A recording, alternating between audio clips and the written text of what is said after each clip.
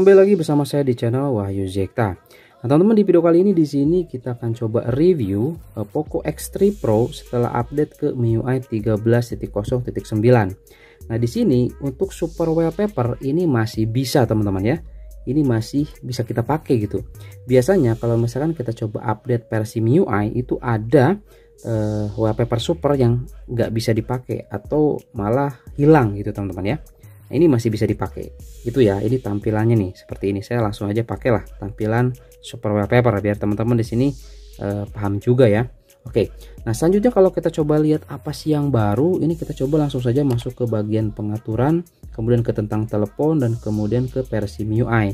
Nah di sini apa yang baru langsung aja kita coba klik. Yang pasti di sini adalah patch keamanan jadi untuk uh, versi 13.0.9 ini, ini patch keamanan update ke bulan Desember 2022. Nah sekarang kan masih bulan Januari teman-teman. Jadi ini sudah paling terbaru ya.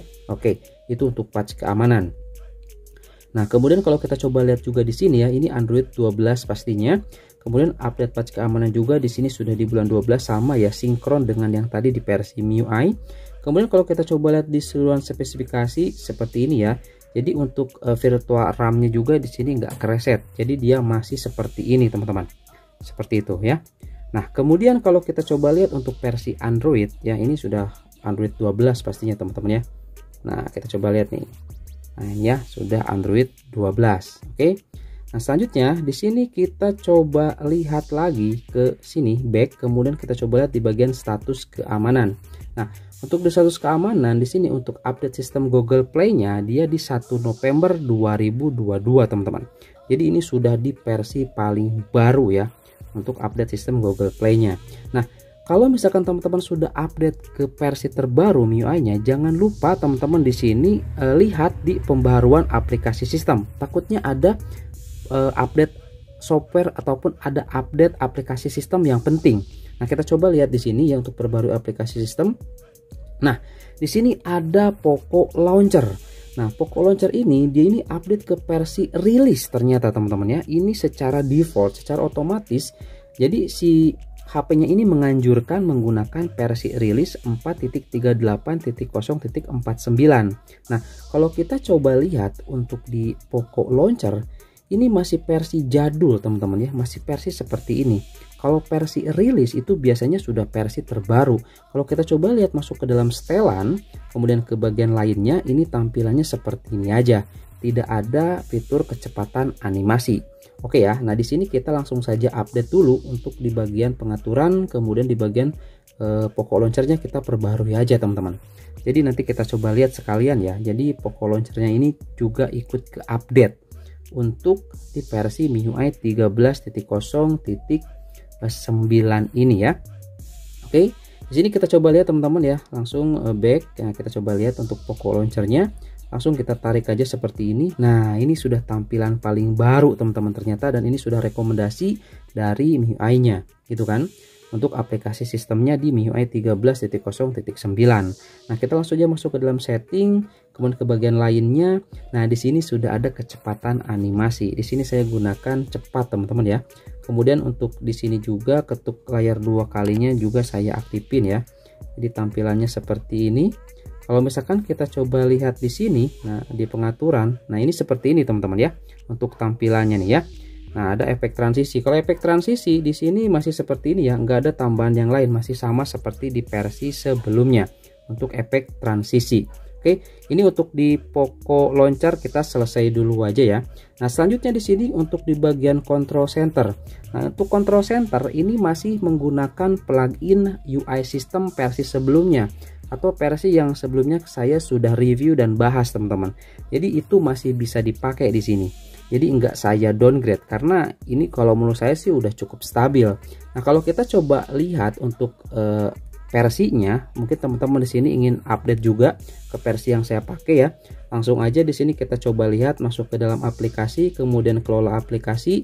Kemudian di sini kita cari plugin nah samain aja dengan versi yang saya pakai di MIUI 13.0.9 ini agar nanti itu uh, eh, UI-nya ini stabil ya teman-teman karena saya rasa versi ini tuh stabil ya versi 13.1.190 ini stabil ya. Dan juga di sini sudah ada fitur Smart Device dan juga Mi Smart Hub. Nah, kalau Mi Smart Hub ini saya menggunakan proyeksi pasti terbaru. Nanti saya akan juga sematkan ya linknya di deskripsi. Kalau misalkan teman-teman ingin lihat ataupun teman-teman bisa simak aja video review terkait plugin UI system ya. Teman-teman bisa cek aja lah ya di video saya sebelumnya gitu. Nah, seperti ini. Kemudian untuk versi plugin layanan sistem. Nah untuk versi plugin layanan sistem saya juga masih menggunakan versi 9.11.23 ya. Nah yang ini. Oke dan ini nggak berubah. Jadi masih bisa dipakai dan ini juga recommended untuk di Poco X3 Pro saya. Oke selanjutnya kalau misalkan bertanya di sini Bang kalau Joyose nah kalau Joyose di sini saya menggunakan versi terbaru teman-teman ya Nah, di sini saya menggunakan versi 2.2.50 seperti itu, teman-teman ya. Nah, ini ya untuk uh, plugin UI system, plugin layanan sistem dan juga JOC saya menggunakan yang ini. Untuk galeri ya itu masih versi sebelumnya. Edit edit galeri juga itu masih versi sebelumnya yang kita bahas, teman-teman.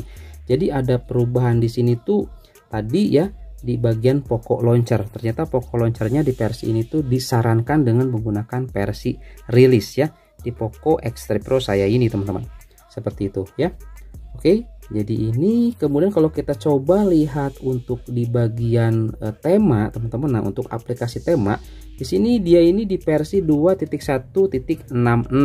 Ini juga recommended teman-teman ya kalau untuk aplikasi tema. Jadi ya ini teman-teman bisa coba aja lah aplikasi yang ini ya. Oke itu mungkin eh, apalagi ya? Ada tambahan mungkin teman-teman bisa nanti komen aja di kolom komentar ya kalau ada tambahan yang lain. Nah selanjutnya di sini untuk eh, versi kamera teman-teman aplikasi kamera. Kita coba lihat di sini ya untuk aplikasi kamera apakah dia lebih tinggi? Nah dan ternyata di sini dia masih menggunakan versi 4.3 dan ini masih bisa kita uninstall update. Jadi untuk versi kamera bawaannya ini masih versi uh, jadul, teman-teman. Nah, di sini saya masih menggunakan versi kamera 4.3 ekor 4660 ini adalah kamera Leica. Oke, kita coba lihat dulu ya sekilas aja di sini untuk kamera Leica karena untuk review kamera Leica ini sudah saya buat juga di channel ini. Teman-teman bisa dicek aja ya untuk reviewnya. Nah, ini ini Leica, teman-teman. Tuh kita lihat ya Leica Viv kemudian kalau kita coba masuk ke dalam e, pengaturan ke dalam setelan watermark di sini sudah ada fitur Leica jadi di sini untuk di MIUI 13.0.9 ternyata masih bisa menggunakan aplikasi kamera Leica ini keren parah sih ini recommended banget kalau saya. Jadi saya tidak bakalan update dulu untuk aplikasi kamera kalau belum ada update terbaru terkait Leica ini karena ini recommended banget teman-teman untuk aplikasi Leica kamera ini teman-teman ya. Seperti itu ya. Jadi kamera sudah tema sudah kemudian eh, tadi ya plugin UI seperti itu masih tetap sama. Kalau kita coba masuk ke dalam bagian sini wallpaper nih saya coba perlihatkan teman-teman ya. Di sini untuk di bagian aplikasi temanya seperti ini di bagian wallpaper juga di sini ada wallpaper super aman ya tidak hilang seperti itu ya Nah, jadi ini tampilan awalnya kalau menurut saya seperti ini ya. Mulai dari lihat dari kontrol centernya juga seperti ini. Kemudian ini juga masih bisa menggunakan super wallpaper. Oke, seperti itu teman-teman ya keren sih kalau menurut saya. Kemudian di sini untuk di bagian security ataupun keamanan ya ini yang paling penting yang sering kita bahas. Nah untuk di bagian security di sini kita coba lihat ya masuk ke info aplikasi. Jadi di sini tuh uh, saya masih menggunakan versi 7.4.0 dan ini kalau menurut saya sih recommended ya di uh, Poco X3 Pro. Kalau kita coba uninstall update kita coba uninstall update di sini dia ini ke versi defaultnya setelah update ke MIUI 13.0.9 jadi dia ini di versi 7.1.0 ekor 1.2 teman-teman.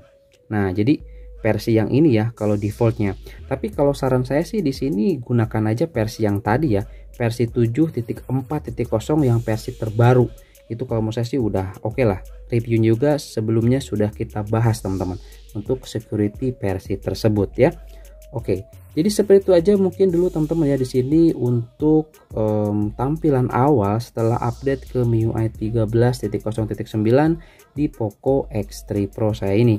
Untuk tes performa dan tes gaming kita akan uh, tayangkan atau saya akan uh, share di video selanjutnya. Jadi teman-teman jangan lupa subscribe ya. Kalau misalkan teman-teman di sini uh, penasaran dan masih ragu sebaiknya tunggu aja dulu ya. Minimal kita lihat dulu performanya seperti apa. Kalau lebih bagus oke okay lah teman-teman bisa langsung saja update. Tapi kalau misalkan nggak mementingkan itu yang mementingkannya itu adalah yang penting paling baru terbaru dan pas keamanannya terbaru ya udah. Kalau mikirin seperti itu gas aja update teman-teman ya. Itu pastinya kalau misalkan ada update itu bukan tambah buruk ya. Justru harusnya tambah bagus ya seperti itu karena memperbaiki bug ataupun memperbaiki masalah di versi sebelumnya Oke, itu aja mungkin teman-teman di video kali. Mudah-mudahan ada informasi yang bermanfaat dan sampai ketemu lagi di video selanjutnya. Oke.